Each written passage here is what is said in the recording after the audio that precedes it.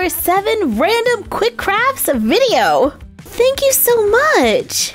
So let's make another one because new requests have been pouring in. Okay, let's see what we got. Your room. What? That's that's not quick. Rooms take time. But maybe we can try to do something. Like recycle a space we haven't used in a while. This is one of our dollar store rooms that kind of became storage. So we're gonna clean it out renovate it, and fix it up. Redecorating an existing space is a fun activity to do, but it does mean cleaning.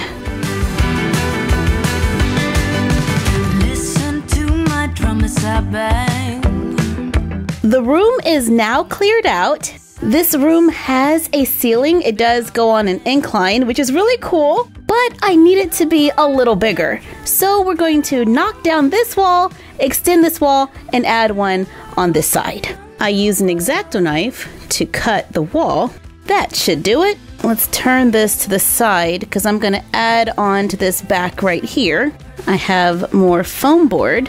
The room is already 14 inches, so let's go another 7 inches. I cut two, one to extend the floor and the other to extend the wall. On the wall, I need to trim the top by the width of the foam board. Use a hot glue gun to glue the floor together. This is going to need more support. So I'm gluing a piece of cardboard underneath. Much better.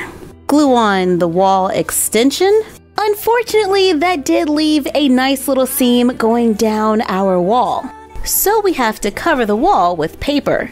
I'm using a white brick scrapbook paper to keep it bright and open. I am limited on scrapbook paper, so bear with me while I am piecing this together. Ah, it's a seam.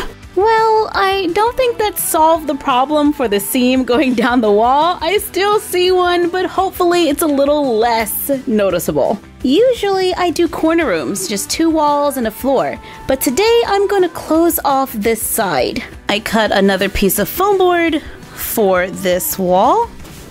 Ooh, that's going to look nice. But before we glue it in, let's lay down a floor. Now in my actual room, I have carpet, but today we're using a scrapbook paper that has a lot of texture. It kind of looks like carpet to me. While this is still open, I'm going to use foam board to add a ledge to the windows, use strips of poster board to cover these seams, cut clear plastic from packaging. I cut it to cover about half of the window, glue a small piece of foam board at the bottom of the plastic to make an open window so we can get some fresh air and hear the birds singing in the morning. This space already looks a lot better. Before we glue on that side wall, I take the door from the wall that we cut away, cut out the frame, clean it up with some poster board, trace it on the wall, on the inside and outside, cut it out, glue the frame into the opening, cut out a door, add toothpicks onto one side of the corners, make a hole in the frame for the toothpick, Glue cardstock or poster board onto the door for details. Place the door in the frame. Glue on the wall. Glue on beads and buttons for a doorknob. Use foam board to cover the gap in the ceiling. I usually don't put ceilings on my room, but I think this is going to give us some great lighting effects. And my real room has a ceiling, so this one does too. Glue on strips of foam board for baseboards. We can also use the trim around the top to cover any gaps. Cut three 2 inch strips of foam board, cut 2 inch squares, and glue them to the longer boards. Glue another long board on top. My long boards are 12 inches long. Add another one on top. Glue pieces onto the sides for a long shelving unit. That goes against the back wall, right in the center. Cut rectangles of foam to fit inside cut cardstock and glue it around the edge. I glue a scrapbook paper that looks like a woven basket to the front, place it on the shelf. Now I just have to make 11 more. That took a while. Definitely a great project to pass the time. I'm using the bed from our doll horse lover room. We're gonna put that right against the wall, but let's add to it. I'm gonna glue giant craft sticks around the bottom, glue them across the headboard, glue a silver wood trim around the edge to give the bed a little makeover. I add gray bedding from a previous video, cause that's like my color. Add lots of pillows, of course, gray ones, fuzzy ones, and a pink one. That's my sad attempt at adding a little color. I measure the space between the windows. It looks like we got about six and a half inches. I cut black foam board into inch and a half strips. This one is six and a half inches long. I cut two rectangles that are two and three quarters. I'm gonna glue those onto the ends. Cut a rectangle that can fit between, and I cut this so that it is slightly smaller. Glue it across the center. Glue another six and a half piece to the bottom. Glue two pieces of foam on front there should be just enough space because we cut this shelf shorter. Glue the whole thing onto leftover cardstock. Use strips of cardstock to add details to the doors. Glue more foam to the top and bottom. Glue on beads for knobs to make a TV stand. If we glue it down and add the cell phone holder, from our Extreme Makeover Dollhouse Edition, inspired by the 1962 Barbie Dreamhouse, it could hold a cell phone. Well, hey, an easy printable TV is on the list. You got anything for that? Yeah, we do. We've been making printables like crazy and posting them to our blog, based on many of y'all's requests. Like that printable TV right there. On our blog, myfroggystuff.blogspot.com, we have a tab at the top that says how to print printables. Click on that, then go down to the album that says Easy Dollhouse Stuff. After downloading and printing, cut out the TV, glue it onto cardstock, poster board, foam board, whatever you got. I actually want a larger TV than this. I'll be right back. A larger TV is now available. Glue it onto the foam board, cut it to fit, glue another piece on the back, glue it to another rectangle for a base, place it on the stand, and now Mini Toya can watch one of her favorite new shows. What about a plant? They want more plants. I do have a plant in my room. It's a Monstera plant, and I know we've already shown you how to make one of those, but maybe there's a faster way. I've got some artificial plants lying around, but they're not the right shape. So I'm going to gently peel it off, fold it in half, cut that heart shape open it up and take small little clips or snips out of the sides. We've done this before in our Target room, but it was one tiny little leaf. It was a Target inspired magazine room. Repeat to make more. Take the wire stems from an artificial plant, glue the leaves to the wires, Take the cap from mouthwash, roll strips of felt, glue it inside the cap, place the leaves inside the felt, bend the wire to arrange the leaves for a quick house plant. There is a request for a side table. In my room, I do have a little table in that corner. To make the table, we need cardstock and wire. This is floral wire that I bought at the dollar store. However, you can get a very similar look using bobby pins. Cut two pieces of wire, straighten them out, find the center, and bend it up. And then we're gonna bend it down, bend the other side. So we're making an M. Let's try to even that out. Repeat for the other one. The center of one should be slightly taller than the other so that it can go on top. Now let's line them up and bend over the top at the same spot on both. Ah, that one's a little short. That should work. Find something to trace circles onto the cardstock, cut out several, stack and glue them together.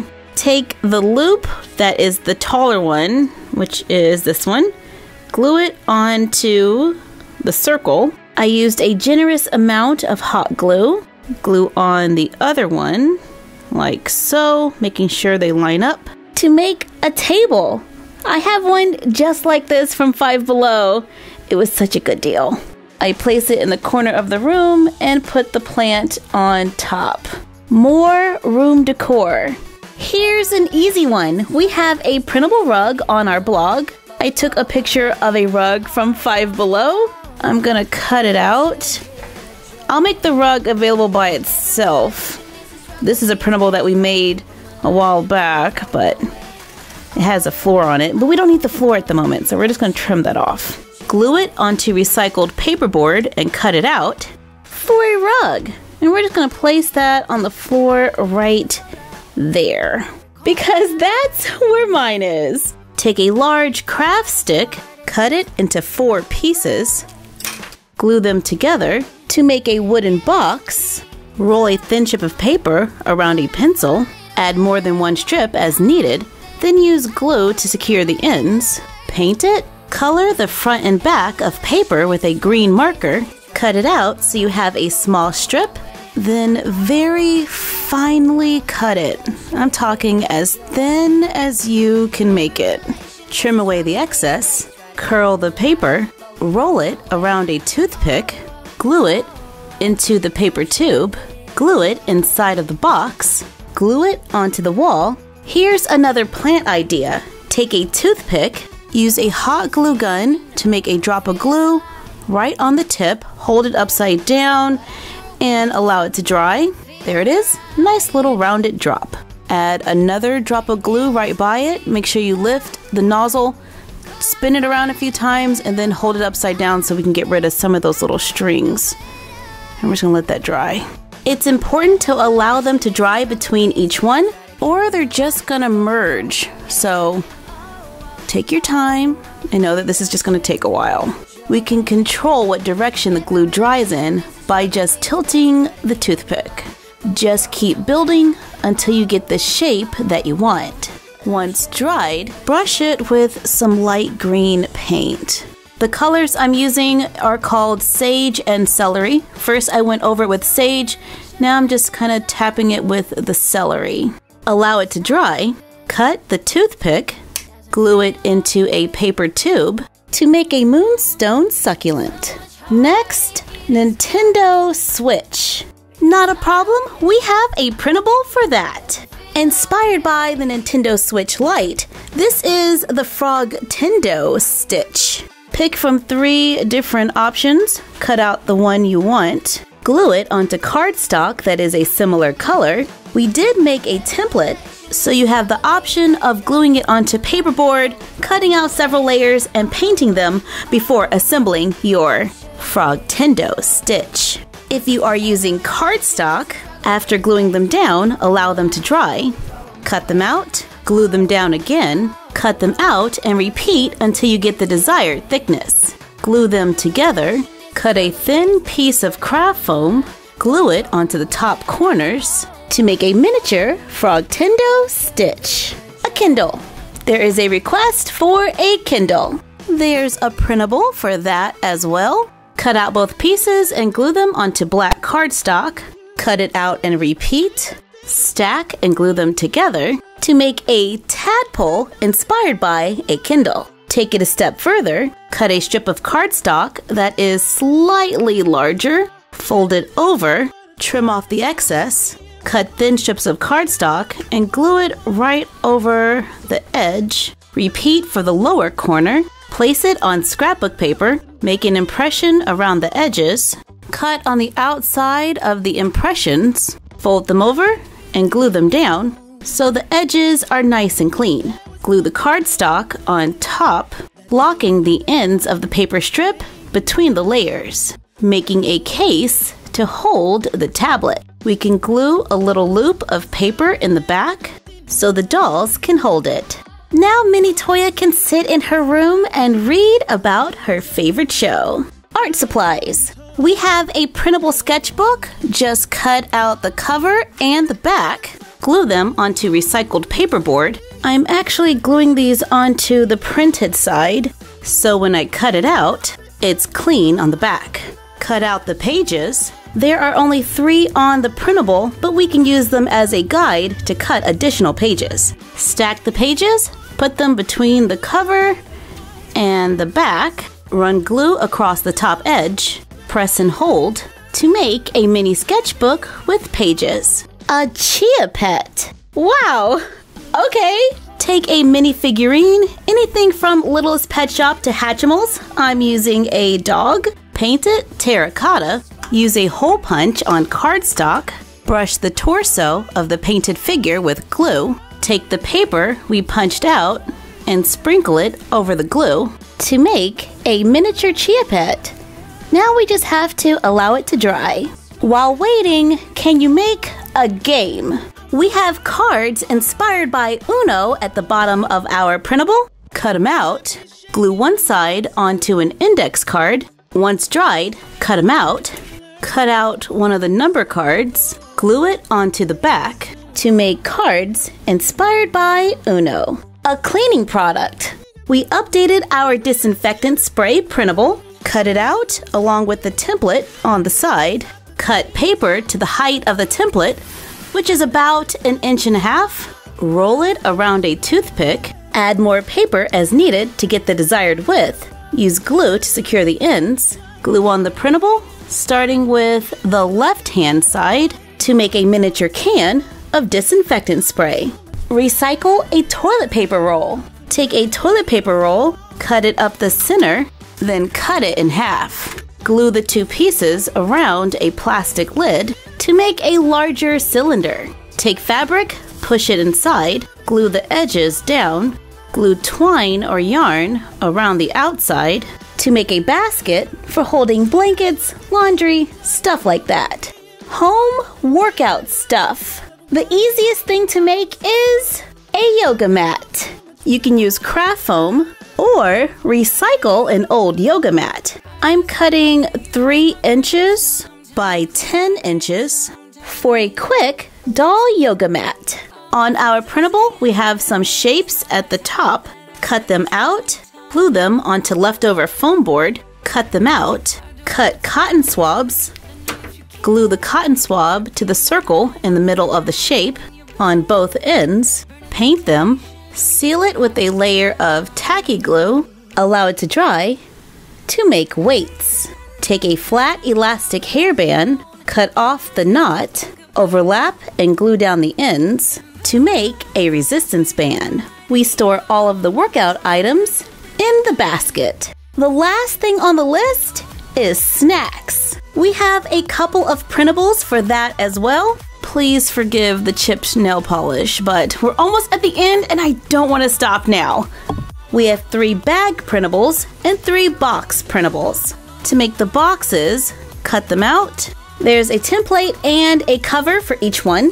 Glue the template onto layers of paperboard until it is the same thickness as the side of the box. Fold the printable for the outside of the box on the lines. Glue the paperboard inside. Glue down the tabs to make a box of candy. For the bags, cut out the printable. Take clear tape. Fold over the top edge of the tape Take a long piece and cover half of the printable. Cover the other side.